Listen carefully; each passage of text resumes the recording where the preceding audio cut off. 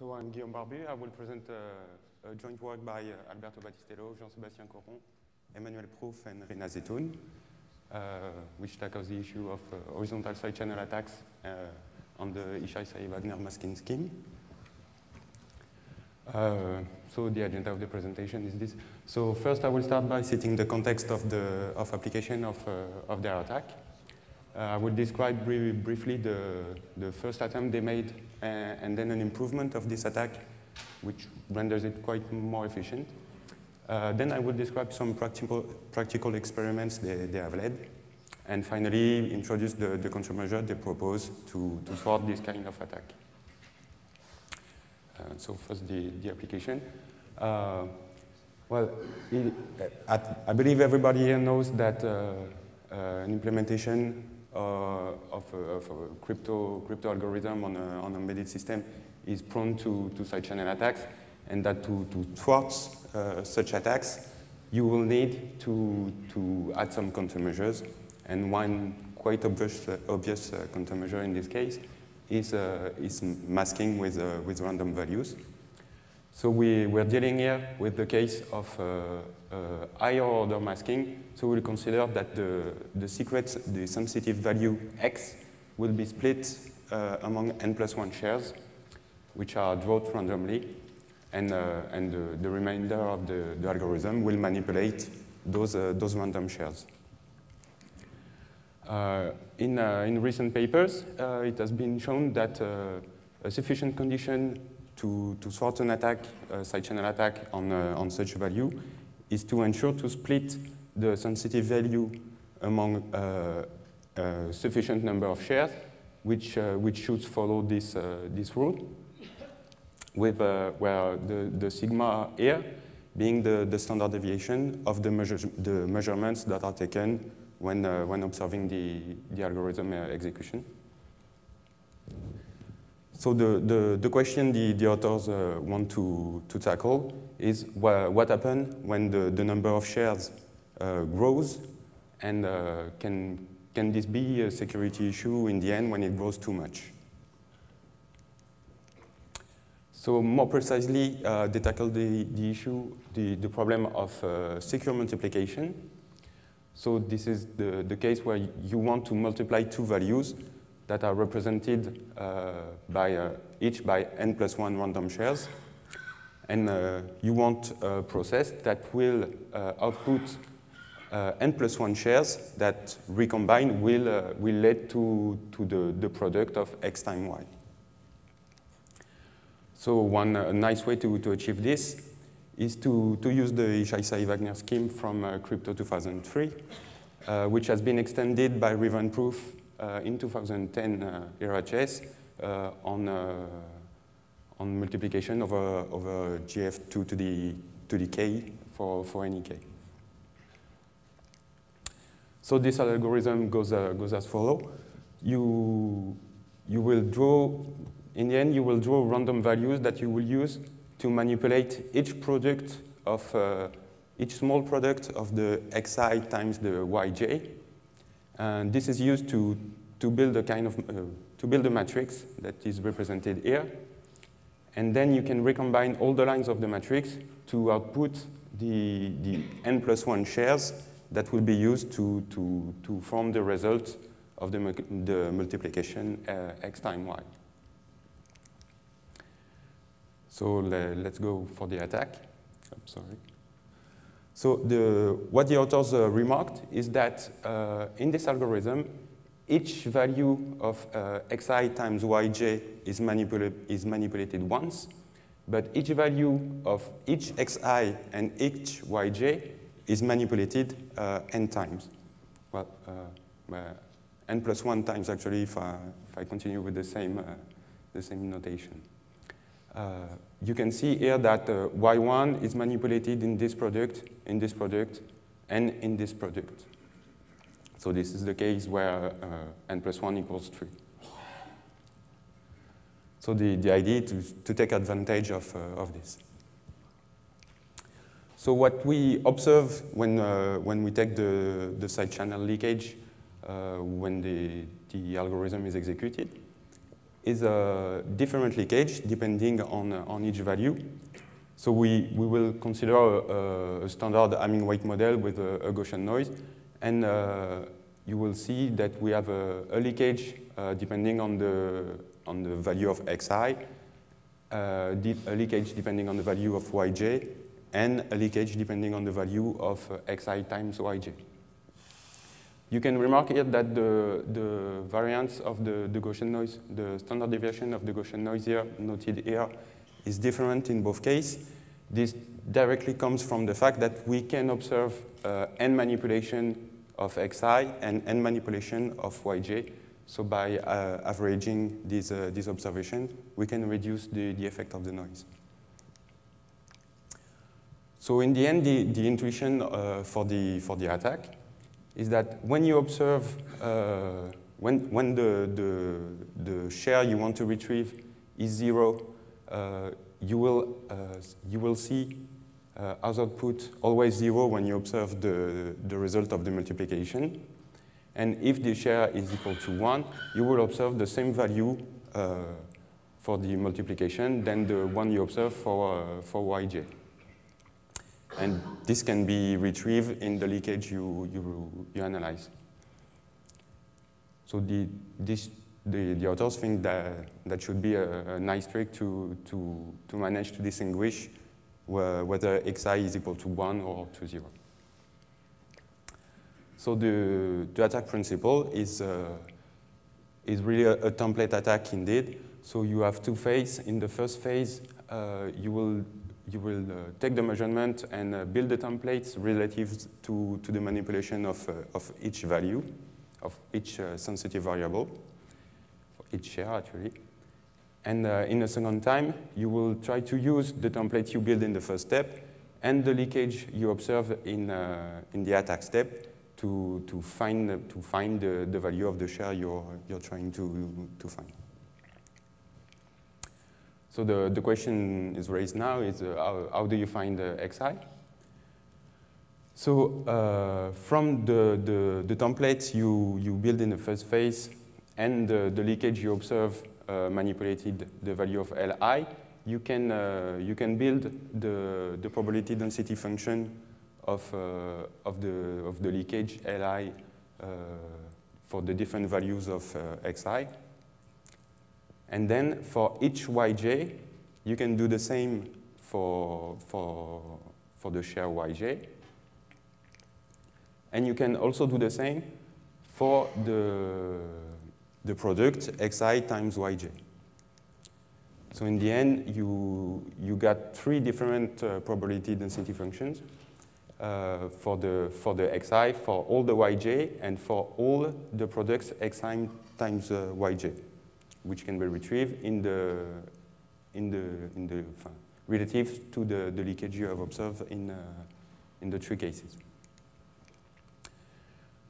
Uh, yes, and from the, the probability density function of uh, Lj and uh, Lij uh, relative to the manipulation of Yj and Xi times uh, Yj, you can retrieve the joint, the joint probability density function of uh, observing Lj and uh, Lij, uh, knowing that xi is equal to, to a certain value.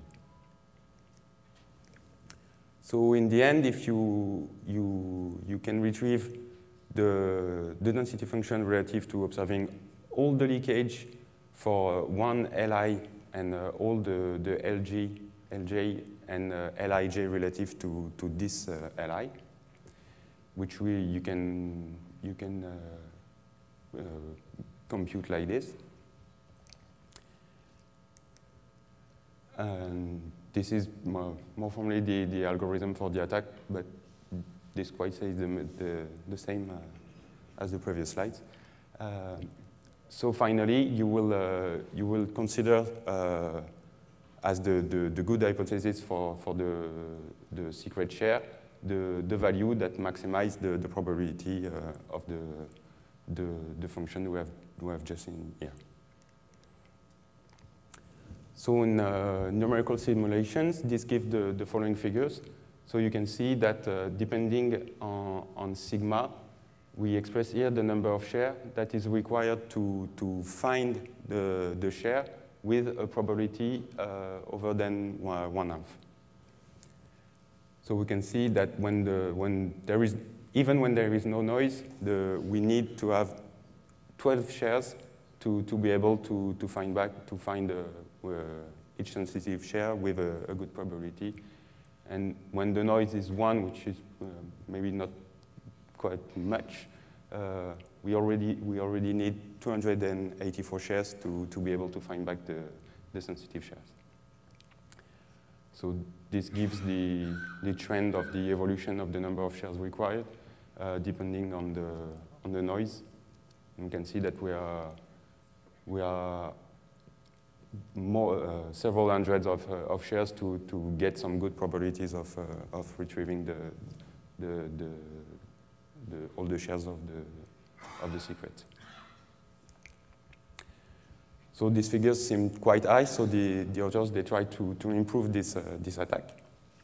And actually what they, what they do is to, uh, they, they, thought, well, we, we find the, the probability density function of, uh, of, uh, for each xi in the first step.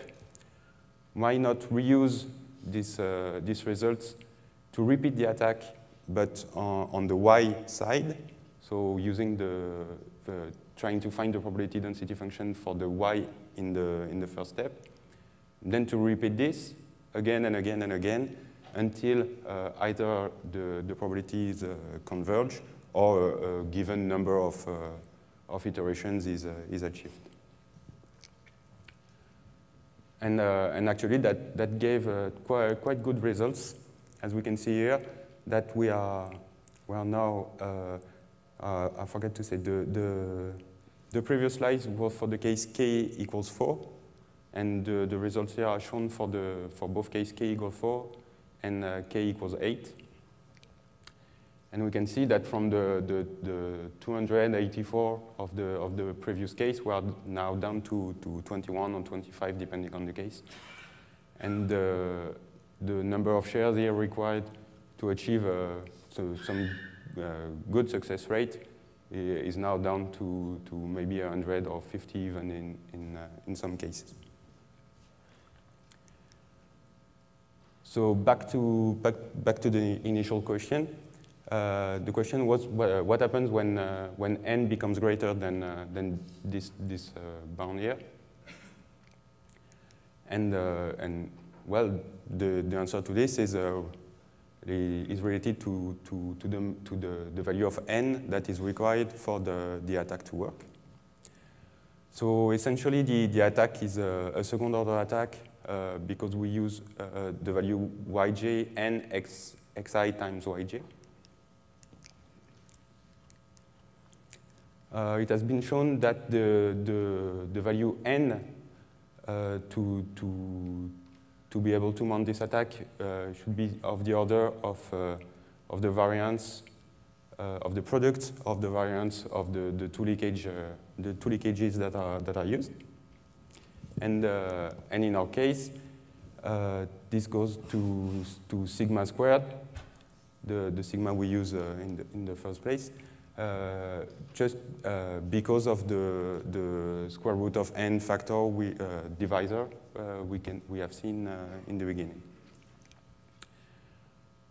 So that tells us that if n is greater than, sig than sigma square times a constant, then the, our attack should be, should be working. The attack should be working. So we, we get to this condition, and we, we notice that we, we still have a gap in between those two, those two figures. Uh, anyway, I will go to the practical uh, experiments. So uh, the, they, they took the measurements on uh, an uh, ATmega 328P uh, processor. And uh, this is relative to a, a move operation of, uh, of a given value into uh, a specific register. And uh, we can see on the figures the, the, different, the different leakages that have been observed. The uh, SNR uh, of the signal here and we can see that we, we can spot some, some, quite, some quite interesting points of interest. This is the, the, the, curve, the curves representing the variance for, the, for each, each value of x. And this is a, a zoom uh, of the, the figures here of the, all the signals uh, around the, the point of interest that we can see here. And this has, uh, has been achieved uh, by using uh, uh, 200,000 200, observations. So one thing that, that has been qu quite interesting to, to learn, learn about the leakage of the, the component we were, they were using is this, they have been uh, averaging the, the signals that we have seen uh, here uh, for the different values of Hamming weight of the, the value x that was, that was used. And we can see that the, the leakage we, we observe here is really, really correlated to, to the Hamming weight of the value. We, we can really see nine different points uh, and uh, with the, the Hamming weight of 8 uh, on the top and the Hamming weight of 0 on the bottom. So then the, uh, only the, the, first, uh, the first version of the attack uh, is, uh, is presented here.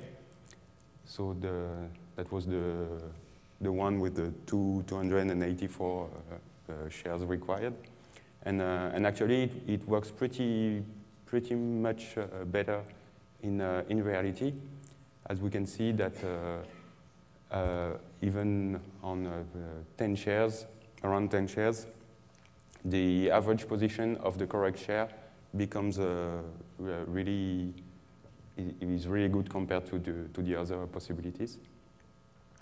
And if you consider, in addition to this, uh, the possibility to use uh, an adaptation of a key enumeration algorithm, the, this should really do, do the work. And um, in, in comparison with the, the numerical experiments, uh, we can see that we, we were uh, up to 21 when sigma equal to 1 uh, for the numerical experiments, and that the, the experimental uh, value we, obtain, we obtain is more close to 10 for uh, standard sigma value, standard deviation value that is way greater than the, the simulated ones. So my, one idea of the authors to, to explain this, uh, this, uh, this difference is that the, the numerical experiments only use one point, whereas the, the, the practical experiments uh, use 11 points of interest, so maybe the summing in some way the, this, uh, this information may improve the results. So to, to face this attack, uh, they, they propose a countermeasure. So going back to the, the first uh, algorithm for the second multiplication, we can see we can split the, the algorithm in two, and in the first phase, uh, we can see that we, we compute the, the matrix that is, the, that is used with all the products of the xi times yj. In the second uh, step, we, we introduce some randomness, and we, we compute the, the final matrix with the, the, the products and the, the, the XORs, the XORs with the, the random values. The problem comes from the fact that there is no randomness in this, uh, at this step. And so they, they just add some, uh, some source of random in this algorithm uh, with uh, splitting the, the input into two blocks and to recursively execute the, the matrix multiplication with uh, adding some, uh, some mask refreshing all along the way.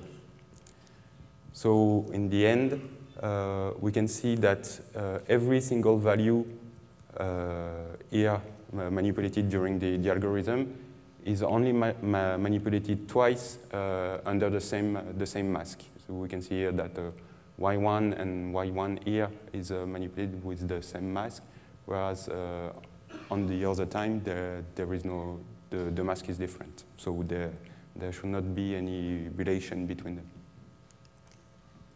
So to conclude, uh, this paper presents uh, an horizontal side channel attack on the Ishai-Wagner adaptation uh, by Rivain and Prouff uh, for secure multiplication. So the, the first attempt was, was not really efficient, but the, the improved attack is, uh, gives quite good results. The experiments has been led with, with, with success. And, and we learned from, the, from this that the, when the order n of the sharing becomes too, too important, then this might not be really good for the, for the security actually. Uh, in the paper, they provide a, a proof of security of, uh, of, the, counter, of the, the new countermeasure, but uh, only against uh, n probes. And they, they want to, to do that for the case of n square probes, which was, uh, the case uh, with n probes was the case for the, the countermeasure they attack, actually.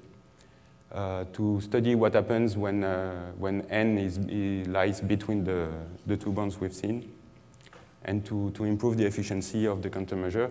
And, uh, and actually that has been done already uh, in some with some respect.